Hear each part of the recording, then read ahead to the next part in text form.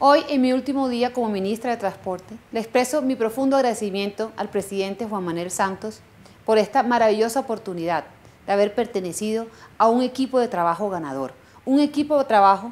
que ha liderado el vicepresidente de la República y que nos ha permitido construir la transformación de Colombia. Hoy está un país en plena obra, con vías, con aeropuertos, con puertos, con grandes proyectos que transforman la vida de los colombianos y en el año 2021 seremos el país competitivo, el país líder de América Latina.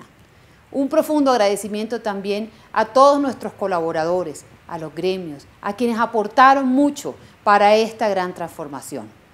Y también quiero agradecer a todo el equipo humano, a la familia del Ministerio de Transporte,